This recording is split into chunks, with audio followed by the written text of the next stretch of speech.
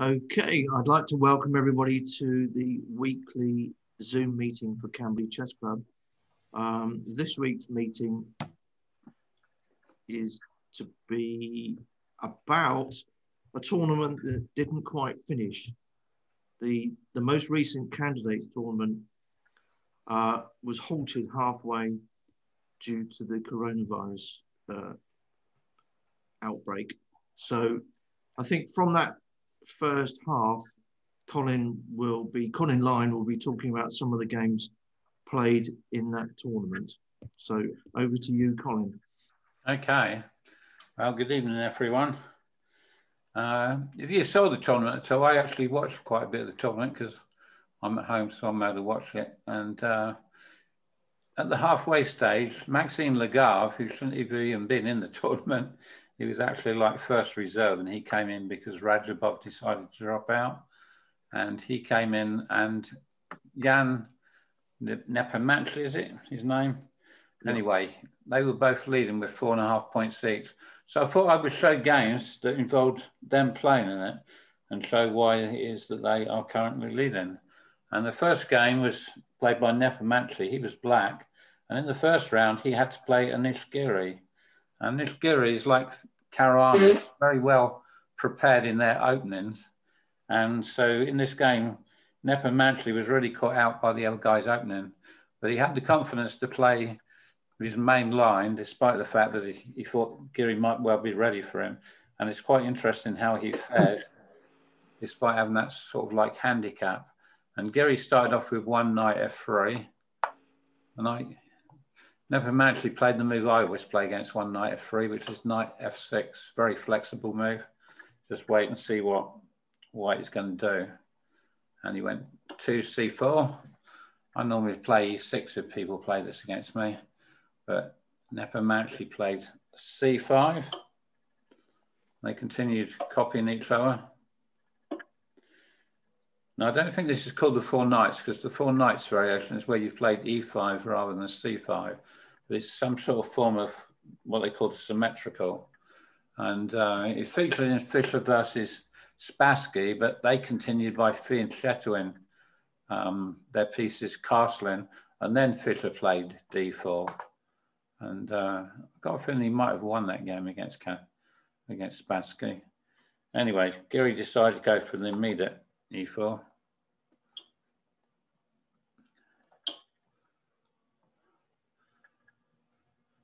And the move e6 was played here, which does rather tempt people into the idea of playing knight b5. I don't know much about this variation, but it's quite similar to the Sicilian defense in a way. I play line the Sicilian defense where this pawn would be on there, and in this position I would go knight b5. Uh, and it is one of the main moves that gets played. But the top move that's actually played here is g3, and that's what Giri played. And notice here, so the first time Giri has ever reached this position in practice, a surefire sign that a personal surprise has been prepared and awaits his opponent. Still, Nepo has not yet paused to contemplate any sort of phantom peril, especially considering his narrow and very aggressive opening repertoire as black makes him fairly used to such nastiness. Well, it's quite true. If you play the same thing all the time, then you are opening yourself up to opening preparation. But of course, on the other hand, you're basically saying, well, no matter what you do, you can't really surprise me. There was a player called Wolfgang Uhlmann. He was like this, and he always played the French. And Fischer once said it's easy to prepare against Uhlmann because you know he's going to play the French before the start of the game. Well, on the other hand, it didn't seem to bother Uhlmann any, any at all.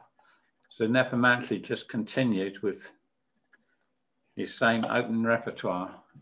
This reminds me of something that Edmund Medness said once. He said he had to play Julian Hodgson, and everybody said to him, don't play knight f6 against him because he played the Trompowsky and he's been beating everyone with the Trompowsky. And Edmund Medness said, if you don't believe in your openers, you shouldn't play them against anybody. So uh, I thought that was quite a good philosophy, really. Anyway, he went here. and he won't hear. It's quite a surprising move, isn't it? Consider the most reliable continuation in this position, even if Ian or Jan, I think they call him, don't they, has experimented with knight g4 and even with a6.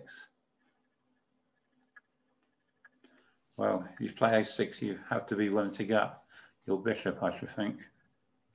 If if um, if black plays a6, um, is the idea that white plays knight d6 and then?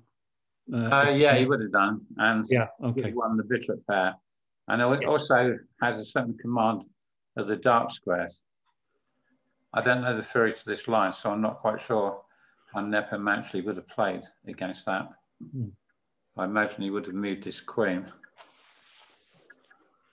Normally in those lines, you can move your queen to e6, e7, and have some sort of swap off with queens if white wants it. But uh, I've played lines similar to this in the Sicilian defense. It looks like he's getting into trouble, doesn't it? You move and I'm going to check here. Mm. But he actually plays knight on f to g4. So he went e3. What move do you think black should play now?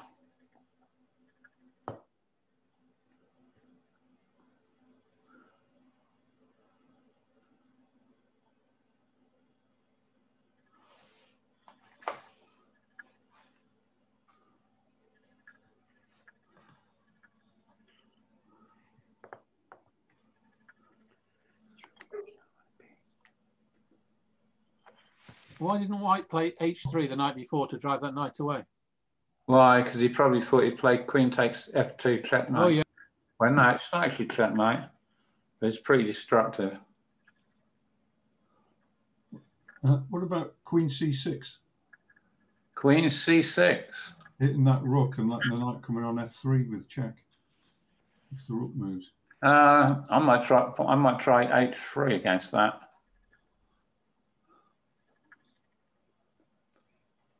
Oh, sorry. What am I talking about? Queen c6. Yeah, that's an interesting move, actually. That is an interesting move. I wonder what he would have played against that. Just d4. What about d6 for, for black? Well, are you going to play h3 against that?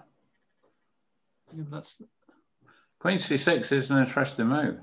I'm not saying e, e, e4, and then I was, and I was thinking, yeah, you've tried take c4, but the queen, the knight on g4's hanging then to the queen. So maybe e4's. Play e4, you can always just go back. oh no, they, oh yeah. Hmm. Yeah, you can just go back to b6, but then you could play queen d2 maybe. You saying e4 in this position? No, after, no, after queen c6. c6. This is actually queen c6. That is quite an interesting move, actually. What about? Has been played in certain games. C. But there must be a good answer to queen c6. You're actually attacking the rook, aren't you? Knight c7 check is kind of playable, but it may or may not be good. Well, against Queen C6. Against Queen C6. Yeah. Because you got after Queen takes knight, you can play Queen takes knight, but it's only a swap, you know. Uh, I don't know if it's that good. Hmm.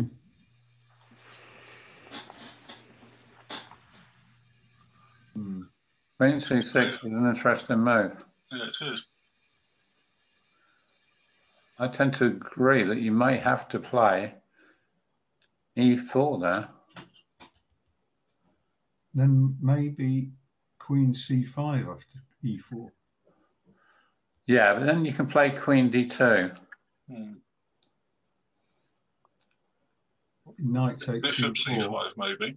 Sorry? Bishop c5 maybe after e4. Oh, yeah. Yeah. Yeah. I just think with Queen C5, you you you you um, hitting that. C5. Well, you can play that if he moves the e pawn, yeah.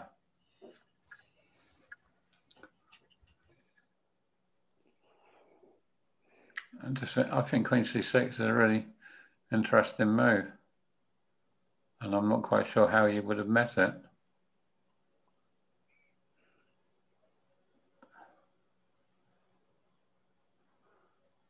Uh, actually, Colin, do, do you have h3 in reply to Queen c6? Is that is that totally stupid? Well, you may have to sack this. Well, h3, Queen takes rook. Yeah, then pawn takes knight. And Yeah. The knight on e5, and you're threatening knight c7 check. Yeah, so maybe you can. But, So maybe. uh, seems a bit. Yeah, that hairy. looks as good as anything. Yeah, I think that's probably probably it, Colin. I don't know. Probably what you do play.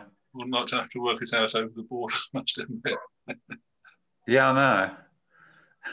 It's nice if you come prepared and know Yeah. what you're supposed to do against these sort of moves. It appears from Colin's database that against Sorry? Queen C6, against Queen C6, your database says White wins 100% of four games. Yeah. Yeah. Well, do you want to treat and see what normally gets played against it? Yeah. Yeah. H3, all four games. So it looks like you're right, Colin. Two points to Colin. What happens after h3? Let's see it. uh, well, in all four games, they've gone knight F3. I just take the rook. Well, we take the rook, uh, and, and white takes the knight on g4. He's still got. Uh, knight. You got knight f3 check. Well, king d2.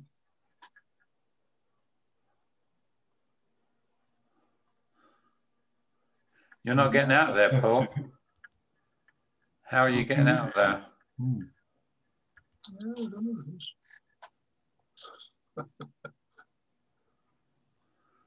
Not only have you got knight c7, but also knight d6 could be a bit of a problem.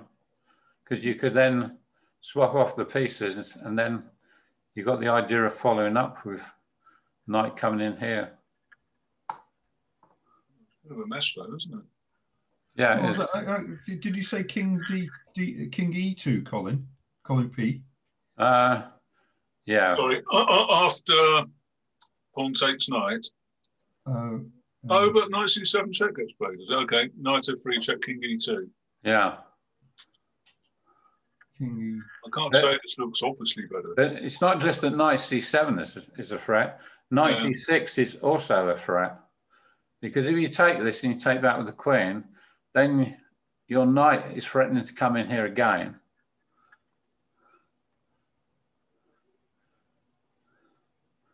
You know, I think you're getting more than enough conversation, aren't you? E. Hmm. Okay, what did black play? What did Black play? Well, Black played a move that you haven't suggested up to now, so I'm quite surprised you haven't. A6.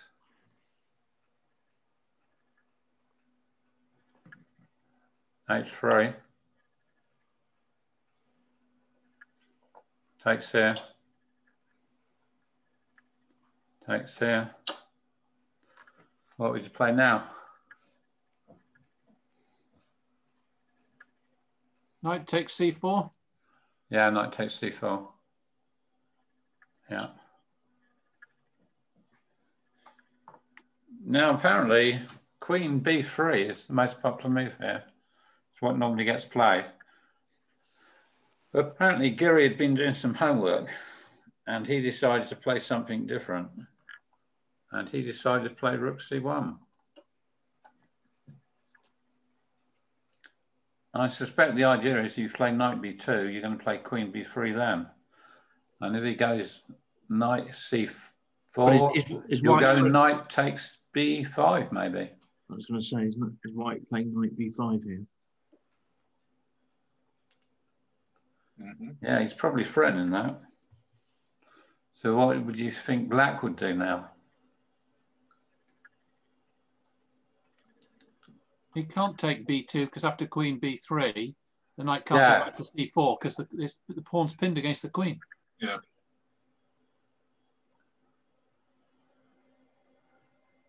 Yeah, that's what I say. If you went back to knight c- c4, you just take the pawn The knight took the knight win got the Knight. Yep. He's in all sorts of trouble if he takes the pawn. Yeah. So black should play d5 here, shouldn't he? Black should play d5. Black did play d5. But he he would have been on his own resources here because he wouldn't have expected rook c1. So what he plays next is really quite impressive because he keeps finding the best moves. So b3 happens.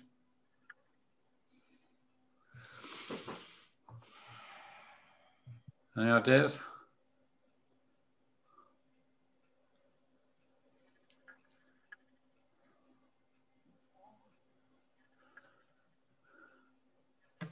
He didn't play e5, did he? Yeah. yeah. No. No.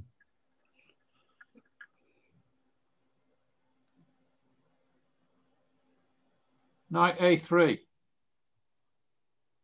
No.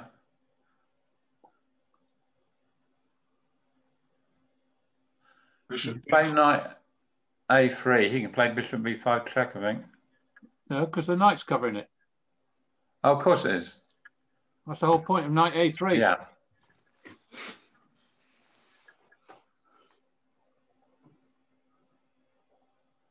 Knight d6. Yeah, Bishop takes knight. It's not easy to guess this move. Bishop b4. I'm on mute. Oh, okay. Oh, no, Bishop a3. No. Not bishop b4. Bishop b4. Well done. That's what he did play. Pretty spectacular move, eh? Exclamation mark. Well, here some serious calculation was in order and 18 minutes were spent on this move. The Craven Knight b d6 is completely not in the spirit of Nepo and even still after bishop takes d6, bishop takes d6, bishop takes b5, white has a simple and comfortable game. So he's been caught out, but he's found the best move.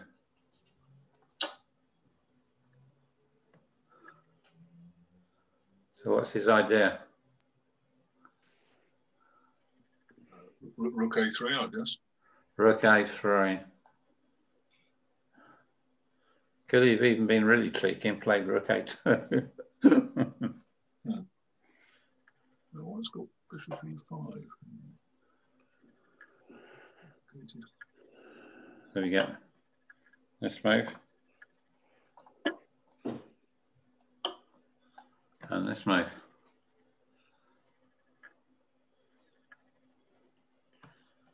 There's Queen's under attack. So he moves here. But I think Giri was still in his opening preparation incre- incredibly. So we get a swap off now.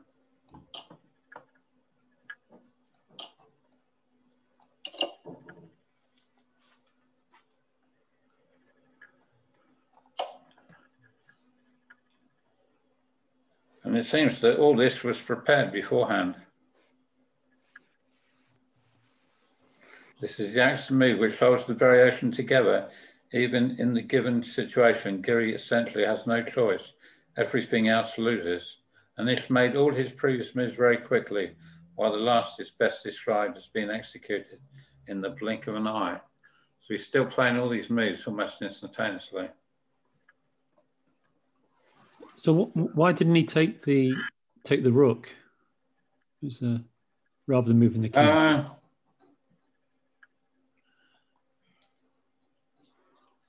why didn't he take the rook? Let's have a look. Why didn't he take the rook?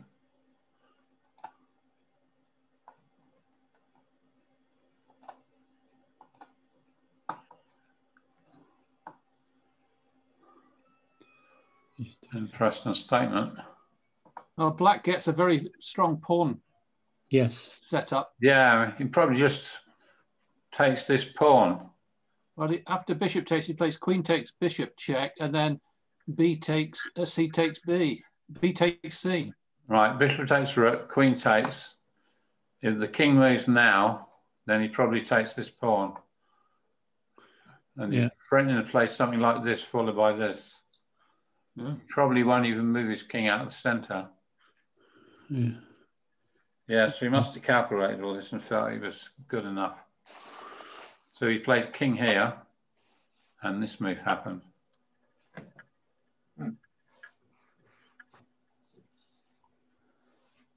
I must say he must have taken some time over this move.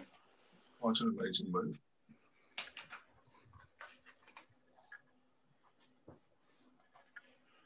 Well, Giri now played g5. so e5 got was the answer. Apparently, queen takes a2 was worth looking at, but if he played queen takes a2, he plays takes, takes, and then brings his king here apparently. And that's quite okay for white.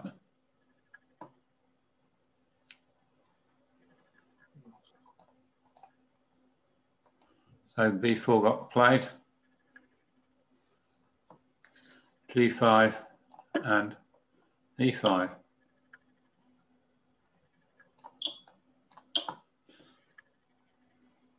So how good is this pawn going to be?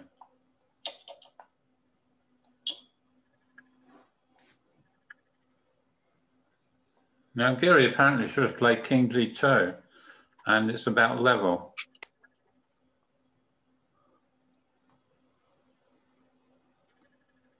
But he didn't play that, he went queen b1 and queen b1 is given as an error.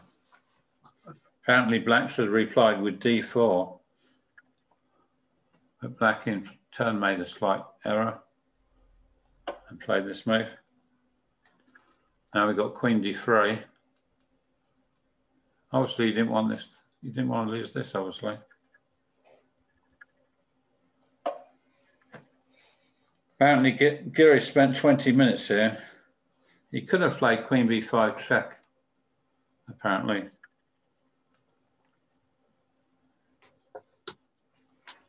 It's still fairly, fairly level, but this move probably really caught Giri out.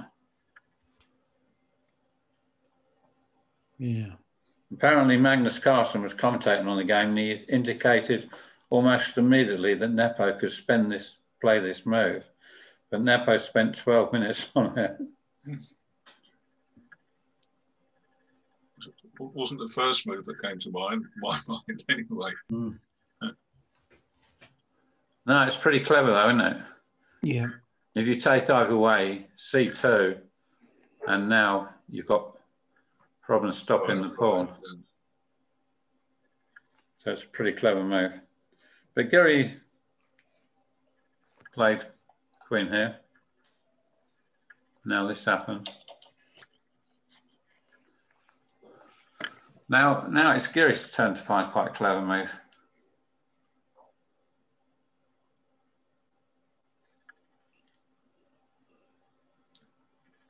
I think it's clever anyway.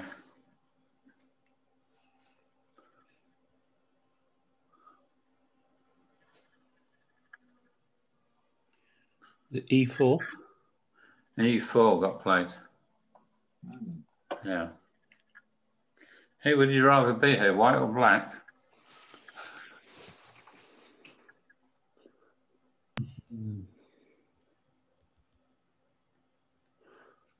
Yeah. Black's got the extra pawn. Uh, yeah, but he's not going to keep it. Is he going to keep it? No. Pawn. Well, Giri actually played rook h4 here. Wow. Apparently, if he played queen takes c4, he exchanges queens and plays bishop f5. And apparently, white is the one fighting for a draw. Okay, so now he played this. Gets the pawn back.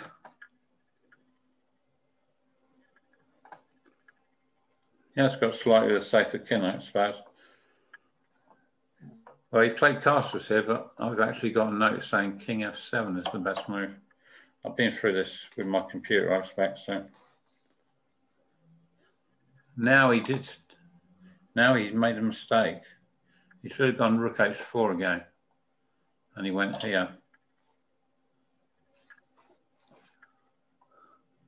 Well, you can see his idea. If he pins him, he's going to play bishop takes bishop. So what move did he play?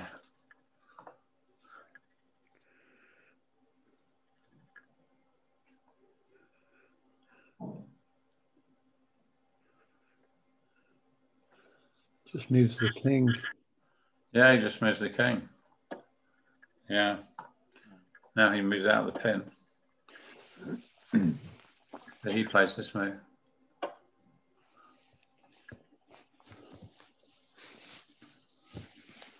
And at this stage, he decided to sacrifice his queen. Oh, Wow. Huh? Quite a surprising decision. Yeah, well, he didn't have to, did he? No, I don't think so. But maybe he's going to get it back. Hmm. I don't think so.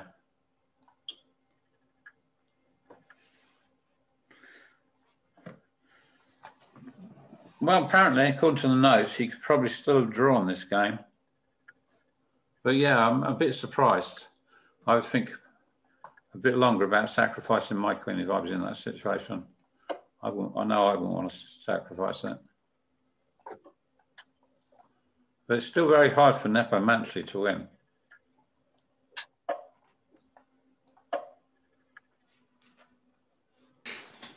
Apparently, Rook H4 draws, but he played this move.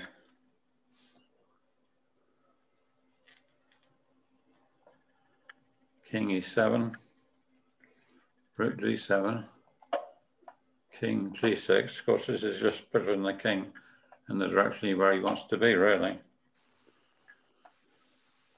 Queen F3. I'm not going to give you any of my pawns. Rook H8. E4. He's got to watch out now for E3, hasn't he?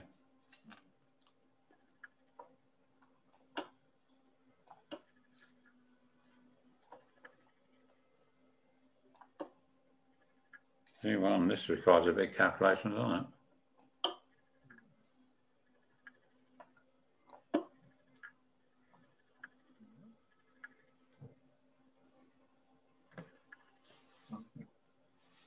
Well, what did Nepo actually play here?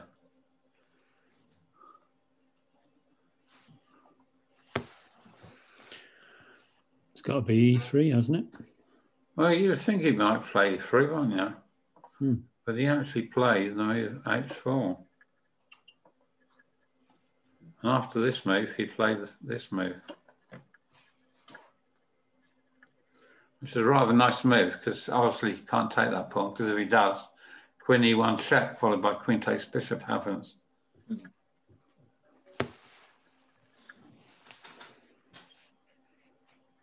But he did take it. Oh.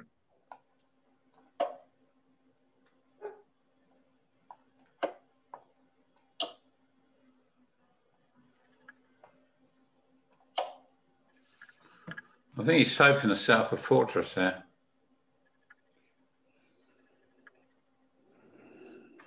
Don't know what a fortress is. It's where you, you've got sort of less material, but the other person can't find any way to penetrate. I actually had a guy set up a fortress against me in a postal game. And in the end, I decided that the only way I could break the fortress was sacrifice my rook for his bishop. And that's what I did. And I ended up beating him. So I hadn't been willing to do that. We would have gone round and round forever, I think.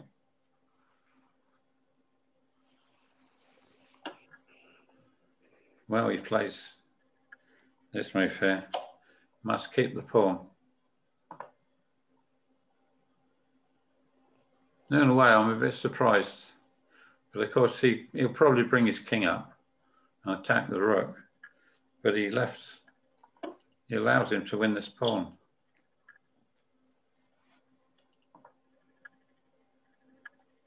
Apparently he should have gone king f1 now, but he went rook h3. Can understand why he did that. Maybe hoping to push this pawn down the board. Black's plan is now based on winning the h-pawn with a subtle reshuffling of the king to d4. While perhaps not in the fastest possible way, Black confidently brings this plan to life. It's a good example of how patient you have to be sometimes in chess.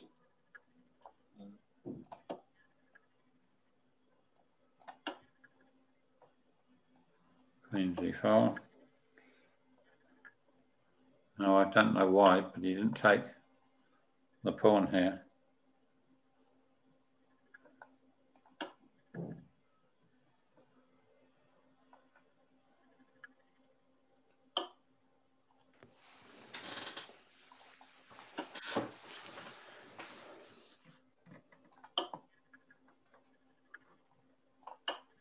He's got to bring the king in sooner or later, hasn't he?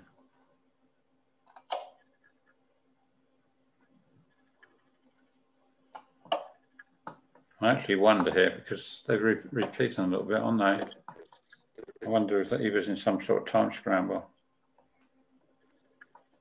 Maybe there's a new time control at move 60 or something.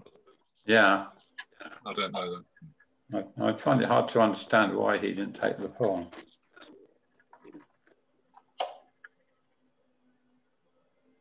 That's where I am. King f1, queen g2. G2, queen d1. He's trying to run him out of moves really, isn't he? Rook e3, king f5. Uh,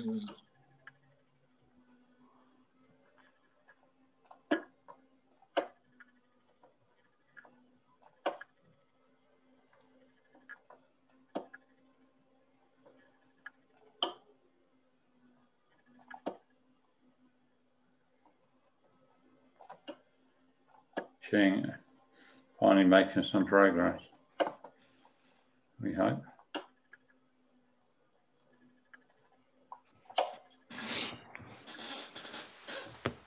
I think he was actually stuck one there, wasn't he? Yeah, I think so.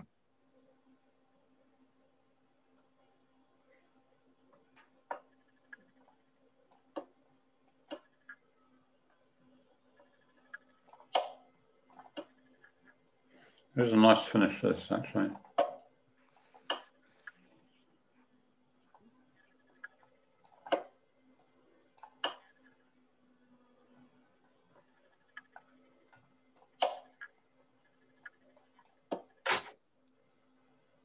Looks like he can't win, doesn't it?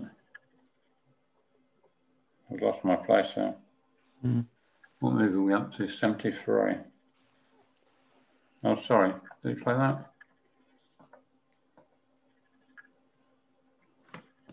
Somehow I've lost track of the game.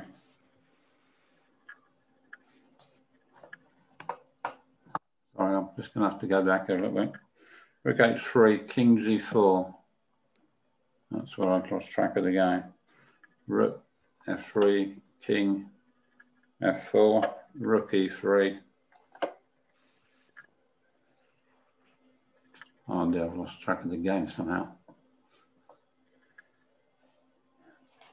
Ah, Dear. It's a bit annoying. I don't know quite what's happened here. I've somehow lost track. So I lost track of the game. Rookie three. Let's go back to this. This will tell you.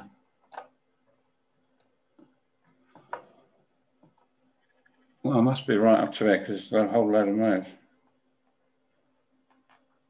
I, I could look Rook e3, king h4, but you can't play king h4 here. Well, I'll tell you what ended up happening. He ended up with his king here. That pawn's gone, he did take that pawn. He ended up with his king on this square. And he ended up with his all these pieces here, here, and here. And he played this move. Remember, this pawn's gone. And that was, so he had the king here, and this came here. I don't know.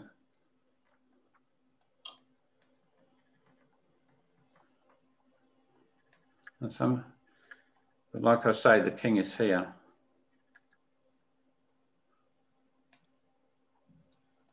So he can now win, can't he? King there, king there, king there, king there. And then the pawn came in. I don't know quite what happened in that game. I lost track of the game somehow. Anyway, that's what ended up happening in that game. You say that uh, Giri was playing his, his moves right to about move 25 really quick, like it was opening preparation. Uh, yeah, it wasn't quite as far as 25. well, was it it? was a long way. It was about to move 20 or something. Till he played that King F1 move, as if he'd seen all that. It seemed like an awful lot of opening preparation to get a, a pretty difficult position to hold. Well, the interesting thing is that Rook C1 isn't regarded as all that good by the computers. And uh, I, know that most of these guys, they check this opening preparation with the computers because Caruana recently won a really nice game as black when he played at King's Indian. And he played, his bishop took the knight on c3 so he could get pressure on white's e4 pawn. Apparently it's quite a new idea, but he obviously got it from the computer because when I put all these moves in the computer, they were all computer moves, you know. So it wasn't his idea at all. It was the computer's idea. And uh, these guys normally check all these things out with the computers to make sure they're quite good. And if Giri had checked Rook C1 out with the computer, which I'm sure he must have done, he would have come to the conclusion it's not all that good. But maybe he thought that his opponent would have trouble finding all the best moves. And if he didn't find any of the best moves, then Giri would clearly be better. That's all I can think he thought. It's pretty impressive that uh, Nick Ondici did find the best moves in that line. I think it is because it's not nice when you get caught in your opponent's preparation. And when they deliberately play all their moves really fast like that, they're actually doing it to intimidate you. Hmm. You know, I've got all this worked out and you're in trouble now because you're going to sort of fall for some line that you shouldn't play. It is an intimidation thing because it's been said that often it's a good idea not to bash all your moves out immediately and make it so obvious that you are in your opening theory. I must admit, I tend to do the same thing. If I'm in my opening theory, I just bash everything out immediately. Don't forget, Colin, that if um, you are in your preparation and you and you play very quickly, you're um, confirming to your opponent that they are finding the right moves. Oh yeah, you are. Yeah. So in fact, you're paying them a compliment. And Yeah. uh, I would I would not do that. I would play slowly, suggesting that they're not finding the best moves. And uh, so in fact, you're just you're just by playing quickly, you're confirming that they're on the right track. oh, you are. But on the other hand, you're I mean, if you as soon as you going to have stop, more time on your clock. yeah. But I mean, if you if you're in a position that you've prepared, and you suddenly take ten minutes, it kind of suggests your opponent has played a move that they should they they that wasn't. Yeah, I know. It's a very double-edged thing. Some people think that you, you know, if you took a bit of time over your moves, they wouldn't be quite as on edge to really find the right moves. Are you suggesting, John, that you should tactic, you know, uh, uh, psychologically feign a bit of surprise when they've actually played a good move or Hmm. the best move? I, I tend to not prepare. Well, I, I think it, it it provides confidence to your opponent. Yeah, they're, I see your if they're point. on their own. Yeah. And you're and you're just cracking moves out. It means that they're doing the right thing as well. I, I mix up the cracking the moves up and then taking a while, even though I don't understand the whole situation. It's quite uh, quite disconcerting to your opponent then because they think you know what you're doing. You know. I mean, I just bang any old rubbish out quickly. I mean, I remember a, a foreign N a four NCL game where I knew I was very familiar with the position, but uh, it was a very sharp position, and I played slowly. You know, even sacrificing time on the clock. I didn't want to confirm that my opponent was finding the right moves, Hmm. And uh, it you know it can undermine their confidence. Uh, and I did win that game as a consequence, really because they, they went into meltdown. Yeah, it's an interesting discussion. I've had this discussion before with people, you know, whether you should just bang out all your moves immediately all the time, you know what the only theory is. Of course, the second you don't bang out all your moves immediately, your opponent knows that you really are starting to think and you're not in your opening book any longer. Yeah. So why not just do that? Uh, well, sometimes I have taken a little bit of time over my moves, but I must admit, I do tend to play them quite quickly because I like to get ahead on the clock, I think, quite early on in the game. Hmm. You know, I'd rather be ahead on position. I'm not too bothered when it's a county game. I don't know about you, Colin, but I feel a lot more relaxed when I play county games because that extra half an hour somehow makes you not worry very much about the time. Whereas Well, well, yeah. Sorry. What's it the like time that? for county games? I think Colin's talking specifically about Chiltern Need, where you have a time control of 40 and 2. Right. uh, Well, no, it's all, all in two. Whole Uh, game. sorry, uh, uh, sorry, everything in 2. It's guillotine, isn't Yeah. it? No increment even. But you've got that extra half an hour. and Somehow I feel more relaxed when I've got that extra half an hour Yeah. And I do for sort of hour and a half games or hour and 20 plus 10. Hmm. Anyway, that was the first game. The next, next game is between Maxime Lagrave and Liren Ding. And Liren Ding really had, well, I'm going to say he's going to have to win to actually every game if he's going to qualify because he's currently bottom of the table. And uh, this game tends to suggest why Maxime Lagrave is doing rather well and Ling Duren is doing rather badly.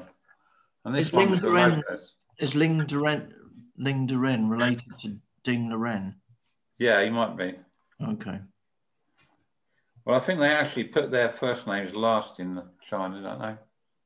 Well, there's, there, there not a lot of nationalities do that. And the correct name of Anand is uh, Anand Viswanathan, Is that? and the correct name of Koneru is Koneru Humpy, for example. Really? So the family name comes first. Anyway, a lot of people are playing the Petrov these days. I do think the Petrov is a very good opening, but it's a bit boring, in my opinion. so I, I play this. Um, Maxime Lagrave is white. Hardly anybody is taking this knight at the moment. I've noticed that. Good. Yeah, because I think that's also pretty boring.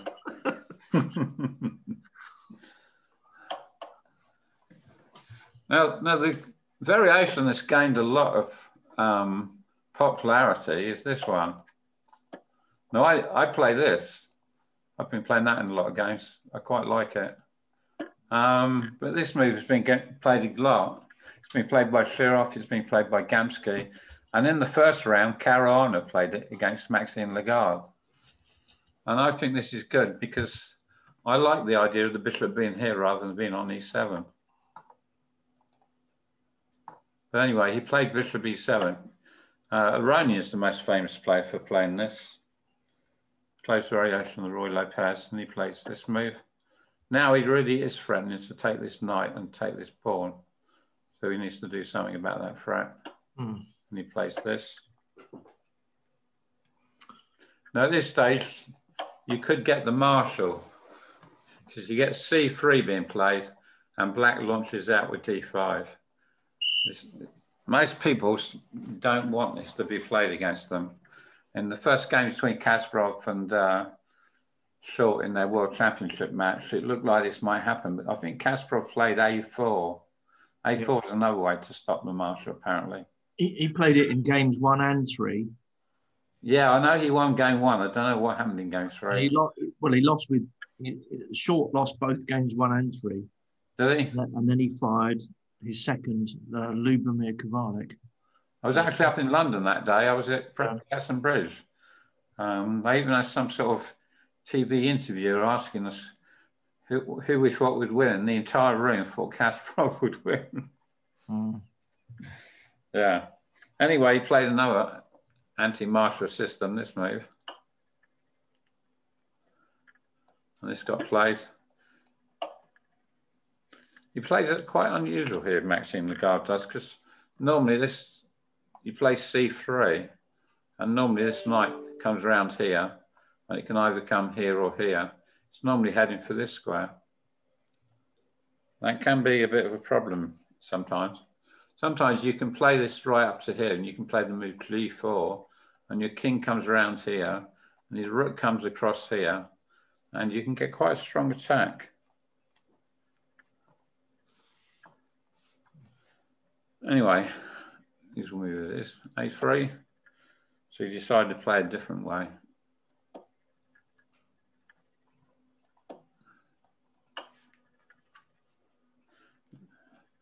Now, what move would you play there?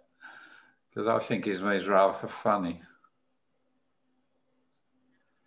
Not, not the first move that would appeal to me. Bishop E3. Have, sorry? Bishop, e, Bishop E3 looks reasonable. Yeah, that's one move that I think a lot of people would think about playing. Um, A4. Yeah, but if you want to play A4, you would have expected him to play it a few moves ago when he played A3, really. Mm. I would say one of the moves that appeals to me is Bishop G5. yeah. Yeah. That looks the most natural move to me.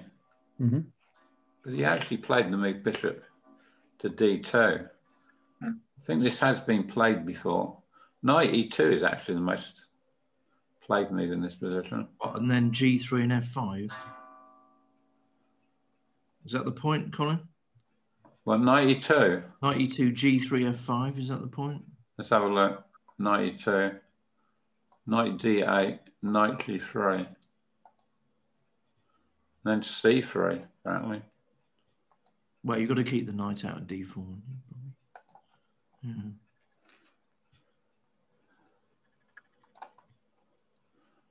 I mean, A3 just doesn't look very impressive to me. And it- this is a this is a main line, is it? A3. Well, apparently, I have to say that I haven't seen this line before. It it looks a I bit. far more often seen Lopeses where they play C3 and play this knight around to here and here, and then hmm. they normally go into here or here. That's the way that the vast majority of people, I say, I'm getting this sort of stuff all the time on the internet. I guess I guess White's just White players in the in these sorts of positions are just looking for some something different. It's not not necessarily best, but something different to Well, he plays keep- something keep, that, keep freshening it up, I suppose. Because well, he played this rather modest move, but this has been played before. What's the idea? Good question. Uh, well, you. later on, the idea comes to play b4, but uh, Really? it's not immediately obvious that you're going to play that move. It, it, it may or may not dissuade the knight from going to a5 as well, but I don't know if that's a big priority for White. Well, I would have thought that quite a normal way to play here was was to play your knight back and just play c5. Yeah. But uh, well, he did play his knight back, but the book's quite critical of him. But I noticed that this is the move that's being played most in this position. It says here this timid move costs around 10 minutes, and such is a natural reaction to an opening novelty. Worth considering was not the no less reserved h6. H6. Yeah, well, I would have thought seriously of playing h6 because I like the fact that he hasn't put his bishop on g5. So I would have thought going h6. Really? Well, he came in here now. I think Maxime Lagrave. Well, it, that kind of puts the damper on C5, doesn't it? well, it does. Yeah, he's got to do. Oh, oh, we can't leave it there. Well, he could leave it there. He could play knight e6, and I think knight e6 might have been the best move. But he decided to play this move. And I must admit, all the computers seem to think that this position is already pretty good for white. Now, if it had been me, I definitely would have played c6 here because when I play the Archangel, I often end up with situations like this and I invariably do decide to play c6. You want to increase the scope of this bishop, don't you? But he went and played this move. And Well, what move would you play with your white here? But on the other hand, Colin, but what you know, White's somewhat shut his white squared bishop in as well as well by putting the pawn on d5. So Uh, yeah, it doesn't look very good at the moment, but it No, eventually and if, does and, look if, and if I was just looking at, you know, if White reroutes that bishop to c2, you know, play c3 and bishop c2, then then he's taking the protection away from the d5 pawn. So Yeah, that's I'm, right. If I'm playing White on this position, I'd be a bit scratching my head about how I can hold my d5 pawn and do something with my b3 bishop. Well, if he's really worried about that, he can always play c4. Yeah. But he actually played the best move here. He played a4. And this apparently is the best move. Hmm. And they reckon Ding Liren should just sort of sat tight and just played f6. Well, it's still not obvious how White's going to penetrate his position. But he played f5 here, and this has been quite strongly criticised.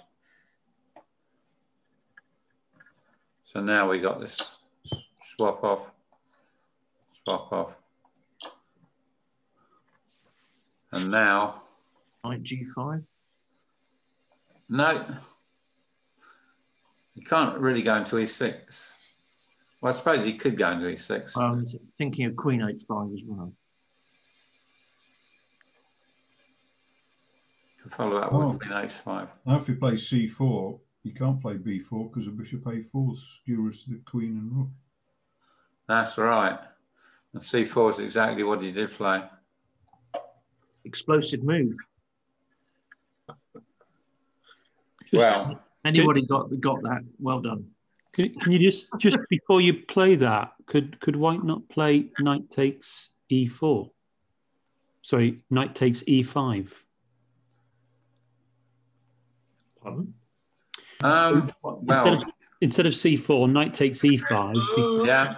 Okay. Okay, let's play knight takes e5. I'll play. Oh, I see what you mean. Six check. And then d6. You've got those check, yeah. Interesting. Uh, yeah, you It's a swap do. off though, isn't it? Yeah, it is. All right, yeah, not necessarily. It just looked. Yeah, yeah, it's tempting idea. Worth Yeah. considering. It's a tempting idea. yeah. Well, it's good that you consider those things because in some places it might actually win. Yeah, exactly. So those are the sort of things that you should be on the lookout for. Anyway, he decided to play c4. Exclamation mark.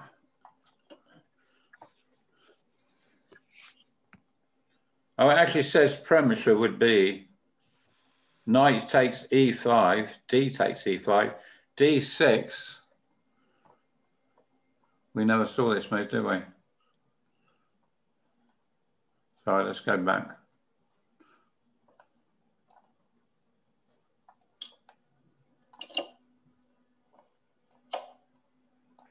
Ah, Ah, good point. The bishop dances away. Yeah, well, he probably or, or, takes. or, or you swap off with another. Well, you got from six bishop. Hmm. Yeah, but what happens? One takes bishop. Bishop to f6. Yeah. Yeah. Right. Hmm. Those Uh, sorry. looking.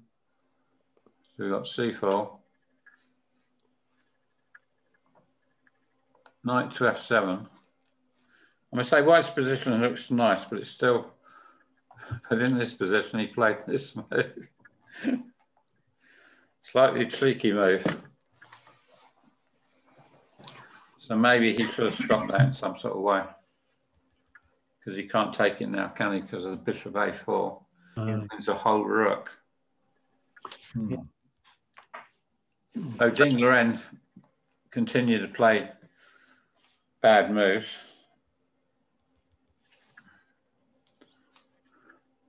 White now found a nice move here. It's not the sort of move you'd think of easily.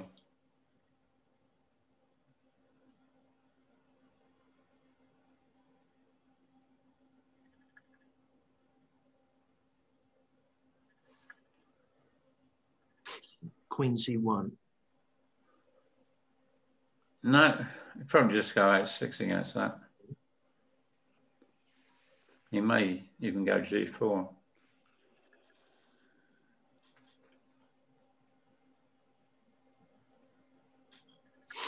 G5. Sorry? HG5. I thought, I thought for a minute that Gordon was going to go g4. Yeah, I was wondering if the g4 was actually a good move in this position. It, it usually is a good move. Yeah, yeah, yeah, yeah. Oh, G4. it's usually a good move if you're playing the Yugoslav attack. it's often a good move then. Doesn't quite have the right feel about it. But Otherwise, I would normally sit on my hands if I was thinking of playing G4 in most positions, especially on move one. I would sit on my hands till I came to my senses and realised that I should Right, get hold of my E pawn. But he actually played this move. Oh, Maybe he was worried about G4 himself. yeah.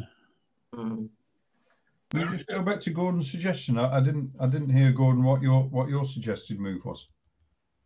Did you say H four?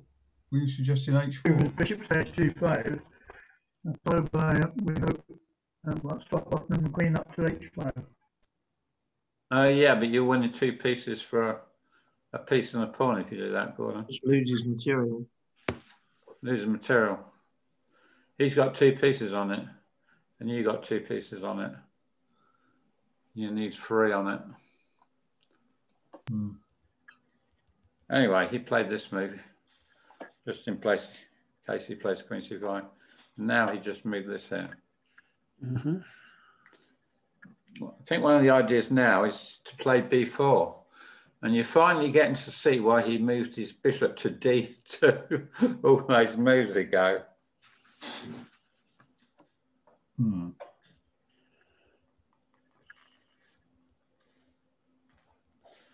Come on then, Gordon. Gordon's going to tell us the next move.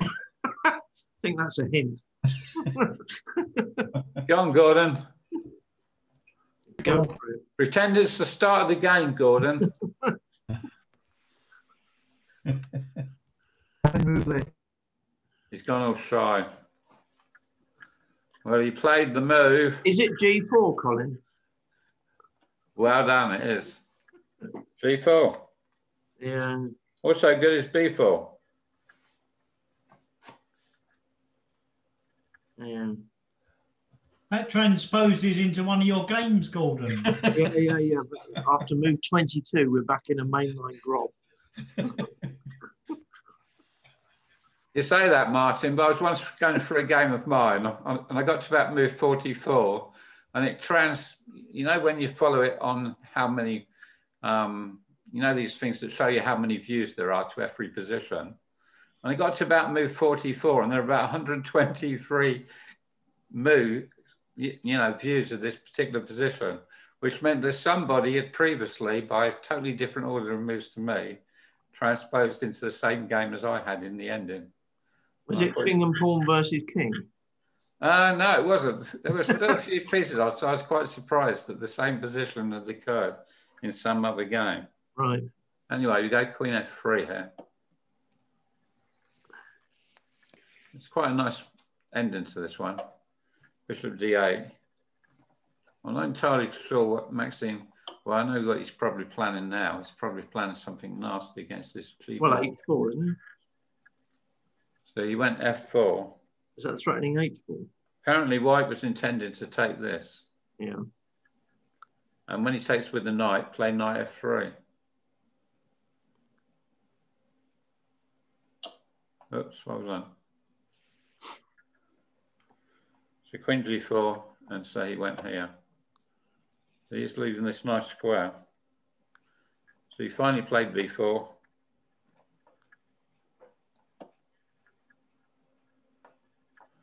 Now he's played this move. And now he takes this. This actually turns out to be quite a strong move. It's difficult to know what to take back with. If you take back with the bishop, he plays d4. And after bishop takes, he goes knight f3. Threatening to win a piece by taking the bishop and win the pawn by playing knight takes g5. There's a pin on the rook at e8, isn't there? Yeah, that's right. That's, yeah, there is. That's the main feature of the position, I think. Very So clear. anyway, he took here. Powerful play. Hmm.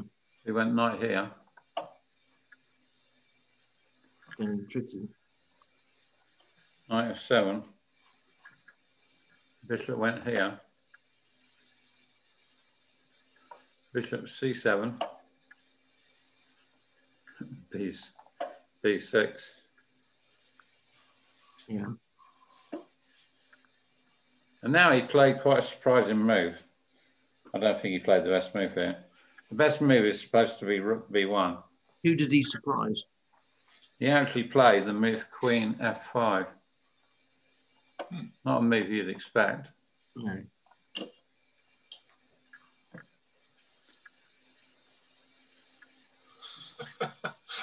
Look, look at White's pawn structure. He's trying to hold on desperately. Yeah, it's not the best pawn structure in the world, is it? There's, um, Yeah, but he's got a nice square for his knight. It, it- well, his pieces are, are very good, of course, but yeah, that's Well, he played. That's right? D6 here he's played. I was going to say count the pawn islands. If this was a junior coaching session, Well, he decided to take this with the rook. Now he played rook b1. Knight d8. And now he found a very nice move. What move would you play here? good one. Um, Seven.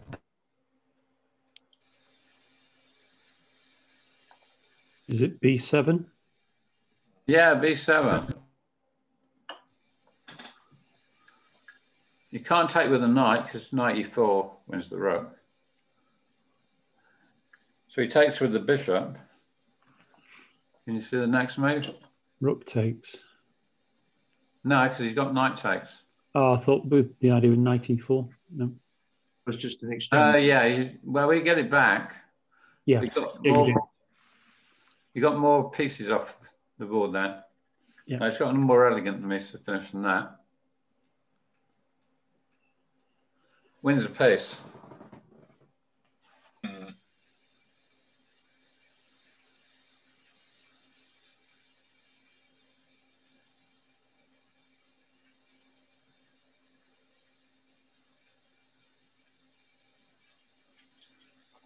Bit of overloading, I think.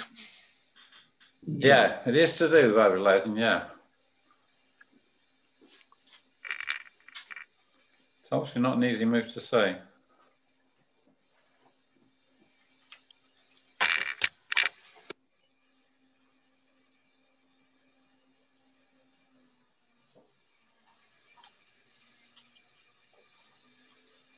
Bishop, Uh, bishop A5?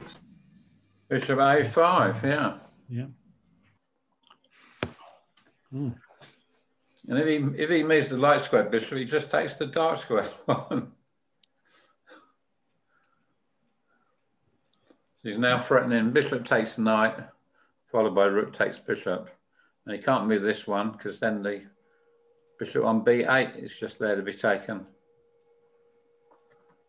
So it's quite a nice game, but it was one game. It was a game where one person played really well. And I think the other person played pretty badly for someone who's ranked number three in the world. Yeah. Uh, at the moment, he seems totally out of form, to be quite honest. Ding Liren. Very, very powerfully played by by Wallace, I thought. Yeah, I'll tell you what though, Maxime Lagrave, he's he's l- tried leader in this, but the other day he played in a classical chess, and he finished on a minus five score. Yeah, he had a shocker. Mm. So, so if the ca- had been immediately after that, I don't think he would have gone in with much of a chance of winning. Um, I actually do think at the moment that Nepomniachtchi has got the best chance of winning because he's playing Am I right? pretty well, I think. I seem to Anyway, this game was between Maxime Lagrave and Nepomniachtchi. Shall we take a I seem to recall that I'll take a few minutes off. I seem to recall that Lagrave went into the candidates on poor form, didn't he? And suddenly, Uh, suddenly did really well. well, I don't know, but he didn't officially qualify for it because Radjabov did, but Radjabov yeah, didn't want yeah. to play. Um, so he kept, got in as first reserve. I can't remember what his form was like before that. He's been having a pretty bad time in the Sicilian when he's played the Najdorf. Uh, he lost two games in that tournament, and he also lost in London a while back when he played the Sicilian Najdorf. Trouble with the Najdorf is there's just too many things that White can play against it. Did you see what Mac? Did you see what Carlsen played against the Najdorf? It's quite funny, really. Was that Queen D3? Was that Carlsen? yeah. Yeah, yeah. But he's also played Rook G1. I think Rook G1 is quite a reasonable move because although I play the English attack, I play Bishop E3. Um, but often in English attack, I end up playing my rook to this square. It's not all that unusual. But yeah, he played this move. And I think after this move, he played this move. And eventually he switched his queen to this square. Yeah, he ended up winning that game, didn't he? Was it against some young Russian, I think? Yeah, yeah, it might have been at Esipenko.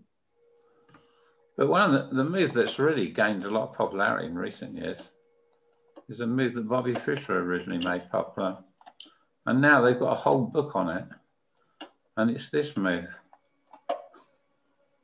The idea is just to go G4 and C5.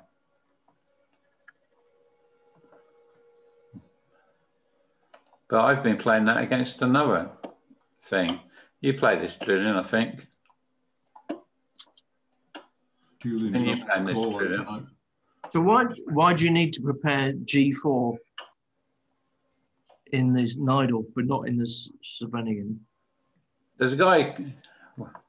Uh, well, I always should take it sometimes. But there's a guy called Gotham Chess. Has anybody seen him? Yes. Yeah, Yeah. he's a very strong player actually, and he's been playing this against this. I think the idea again is just to go here and play this, and it's actually quite an interesting system, and I've played it online a few times. You had anybody play that against Julian? Because you played this, haven't you? Uh, Julian's not on the call. Isn't he? Oh, he's not. He's. I can see his um. He is, yeah, Oh, Julian. is he? Oh, sorry. There you go. Miscount. I've Oh, miscounted. yeah, Julian. Have you had anybody play this against you, Julian? don't think he's at the. Um, You're on mute, Julian, by the way. I think he's gone for a comfort break. We No, can't hear him. You're on mute, Julian.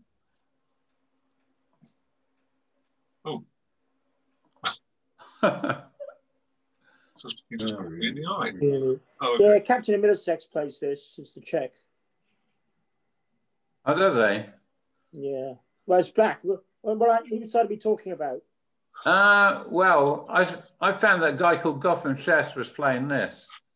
And so I've Oh, played it a few With times. what? With what colour? Oh, with white.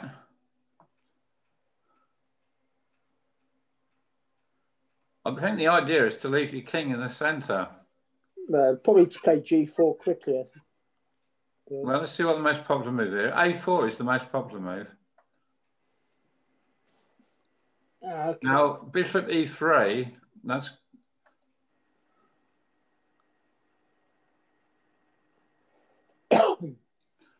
well, one of the moves you can play here is queen d2.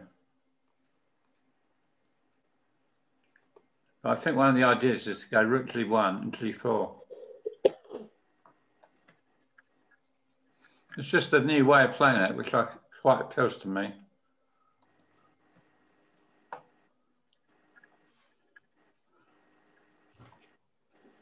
Okay, we ready? Yep. Okay, well, this game, Maxime Lagrave was playing against Nepomniachtchi. So it's quite a big game. If Nepomniachtchi won this game, he would go in with a really high score. So even the other players probably wanted Maxime to win this one. Now, for many years, I played this move. In more recent years, I've started playing knight d2, the Tarrasch. The idea of knight d2 is that if he plays this move c5, which he almost certainly will, you can prop up your center with, uh, well, I'll show you what I mean. If he plays c5, not necessarily here, let's play this first.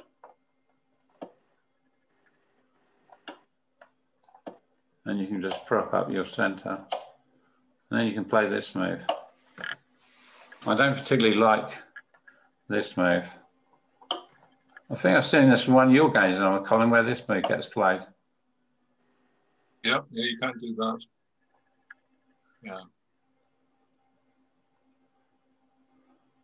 There's, um, there's some other line you can play against knight f3 as well, which I can't remember, but g5 is bad. And uh, it's kind of okay.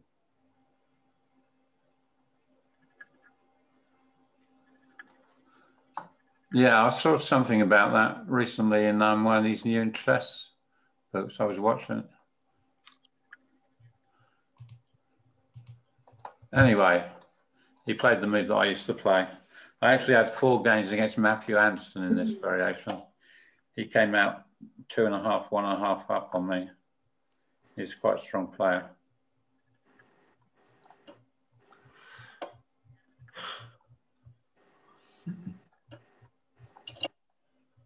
Bobby Fischer once had this move played against him.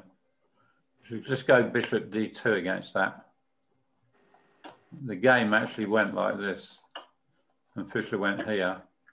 And after this move, he played this move. And this move got an exclamation mark. He just deliberately played it to make his king go there. And the second he'd done that, he moves it back again.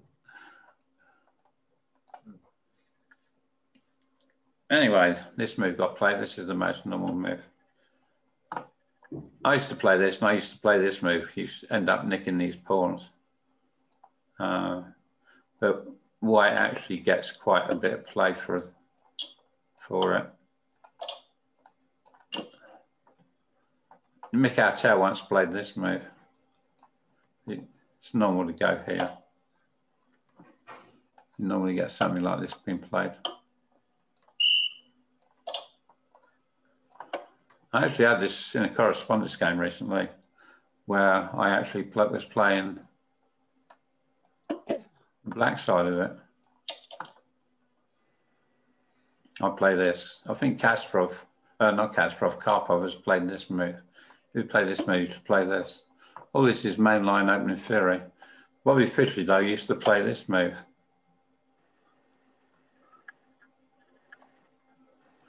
And the, I think one of the ideas is to come here with your bishop and it becomes quite, can become quite a strong piece. Anyway, Maxime played this move, which is also possible. H5. Anybody plays this against you, you shouldn't allow them to play the move H6. Because you then you got to play something like G6 and you weaken your dark squares. So it's always a good idea to put the brakes on this with this move.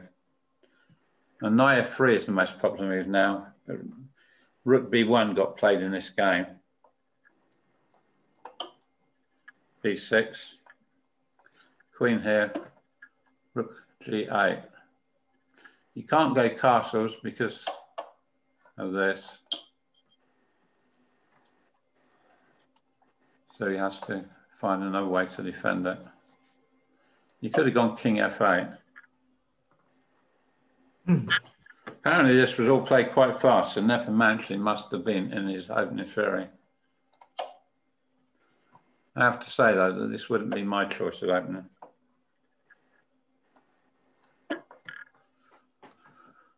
Oh, is he going to go in there?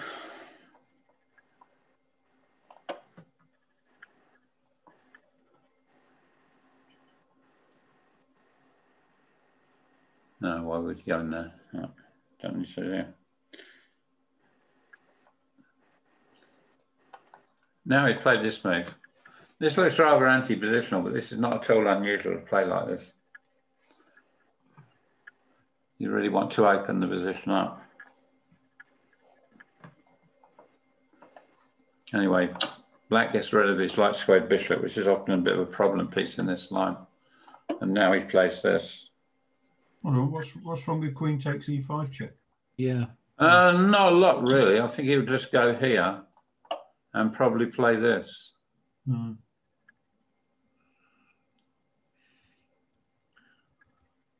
Hmm.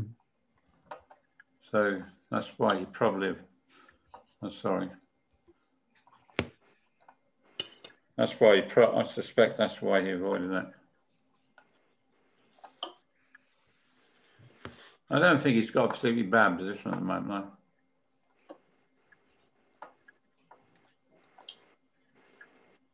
Well, Maxime played that, and this move is actually given an exclamation mark. Bringing queen to the other side.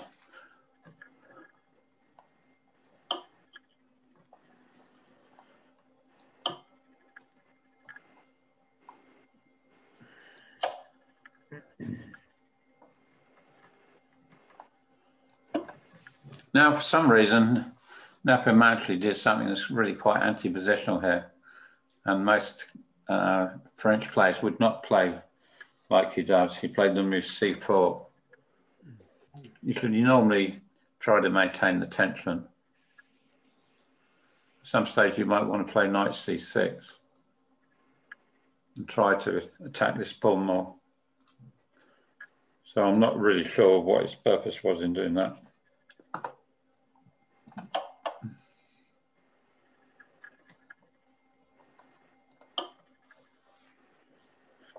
No, my computer wants to keep on playing rook takes rook here for some reason, but Maxime doesn't seem to like it.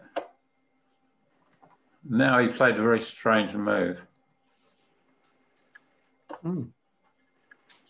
Very strange. Maybe he just didn't want to let the queen in here. Maybe he wanted might, to move. He might follow up with a bishop sack, you know. Sorry?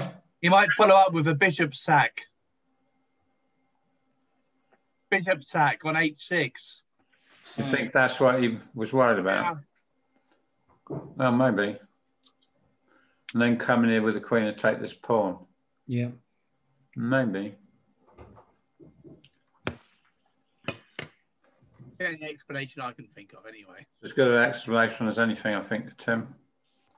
A4. King E8.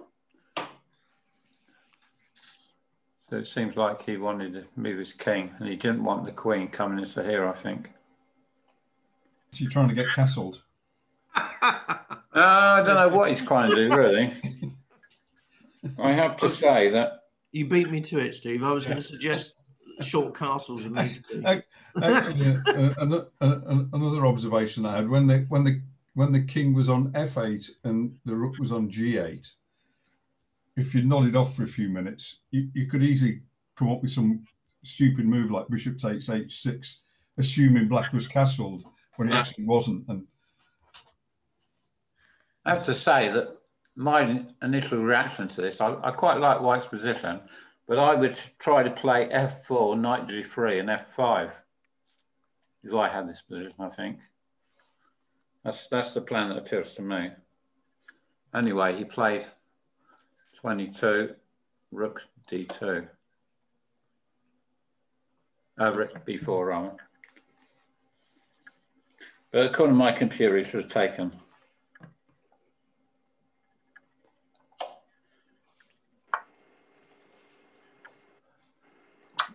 Well, apparently he seemed to think this would cure his problems, but Maxime Lagrave doesn't seem to be very worried about his rook. Should he take the exchange or not? Well, my computer thinks he should play 97, which is what he did play.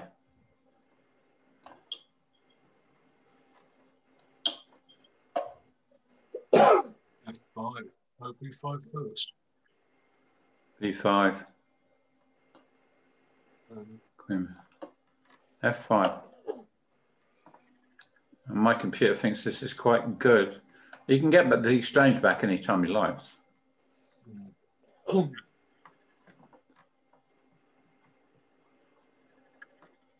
So let's go back to this position. He actually played his knight back to e7. It's always rather nice when people repeat moves because it tells you that they would be happy with a draw, which usually suggests they don't think their position is particularly good. Not necessarily.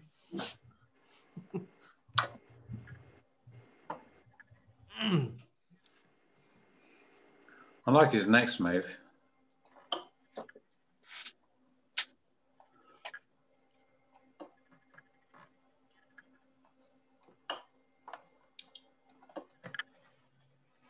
It's still hard to see that he's getting anywhere. Yeah. His next move.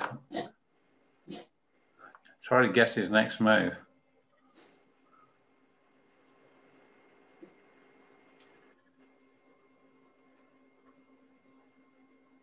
Handed over the bishop there, so perhaps it's bishop d6. Hmm. It's actually bishop e7. oh, right.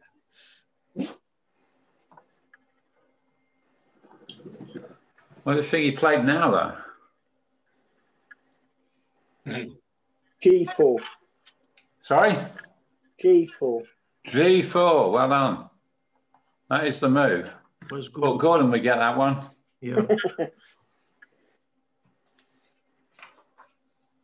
Yeah. Yeah, he did. It turns out to be very strong.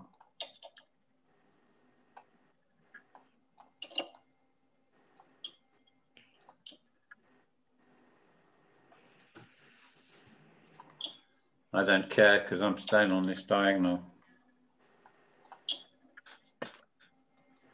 I think he would play queen takes pawn now, wouldn't you? But he didn't. He played this move. Let's get the queens off. No thanks.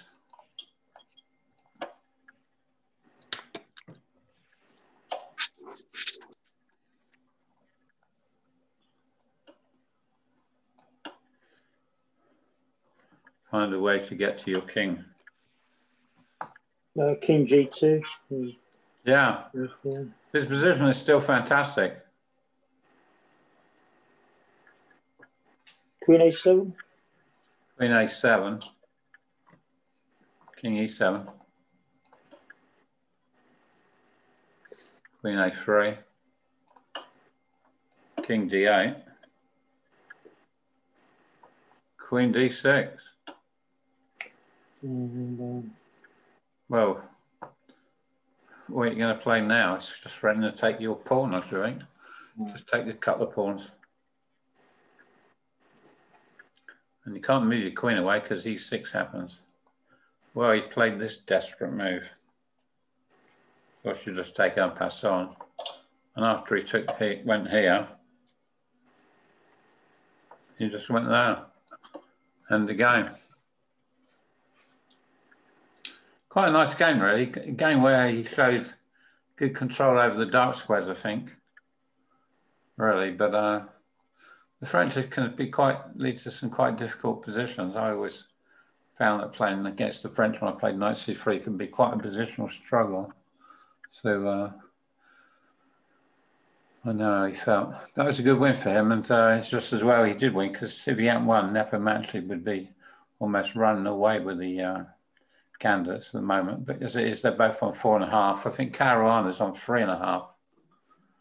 So uh, he's still got a chance, I think. I wouldn't write Caruana off yeah. Very strong player. Yeah. Anyway, that's all the games I intended to bring you tonight. I thought they were quite good games. Yeah. Yeah. Nice games. Yeah. When's candidates part two taking place? Well, I think it's about May, isn't it? All right. They were supposed to play on a while back, but then they cancelled it again, Yeah, yeah. which was a bit disappointing, I thought. Is it reconvening in the same place? It was somewhere in Russia, wasn't it? Uh, In Ekaterinburg. it was a place called Yekaterinburg. Ekaterinburg. Yeah.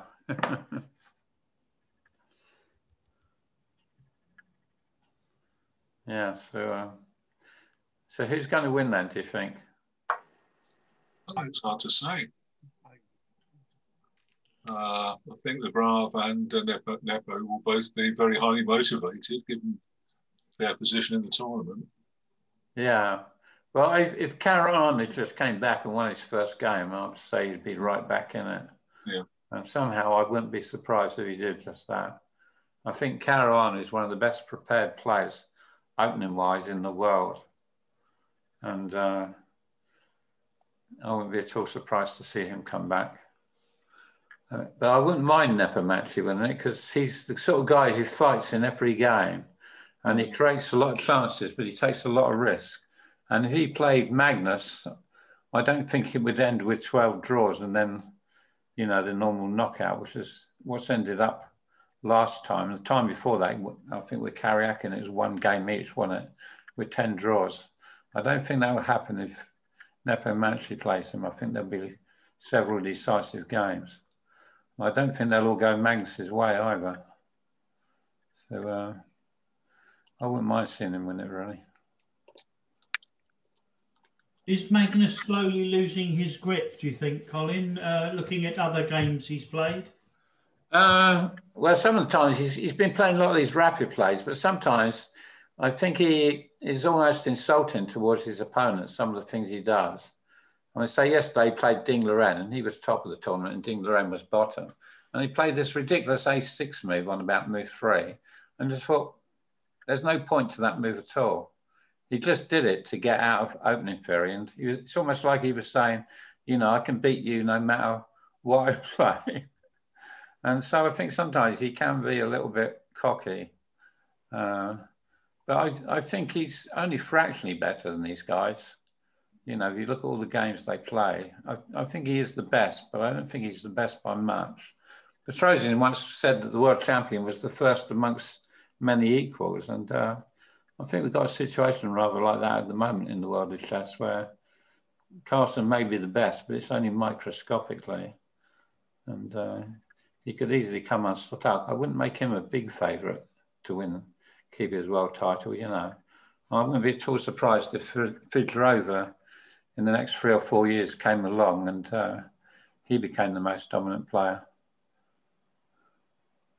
I definitely think Fedorova will eventually win the world title.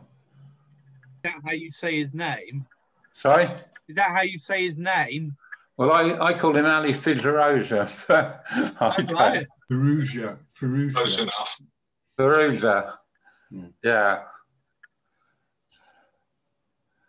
That's right. Well, there are some things you're never quite sure how to pronounce them. It's like, is it the pits or is it the perk? I called it the perk for many years before somebody told me I was wrong. You know. Anyway, that's all the games. Call it what you like, Colin. Sorry. You can call it what you like. well, that's right. I can call it the perk. Yeah. It's the same with the Slovenigo. There's a guy who oh. reckons he's about, is it Malcolm Payne who thinks he's about the only guy in the world that can say the name properly? I thought it was the Chevron engine. No, is it something like that? yeah. Sounds as good as anything.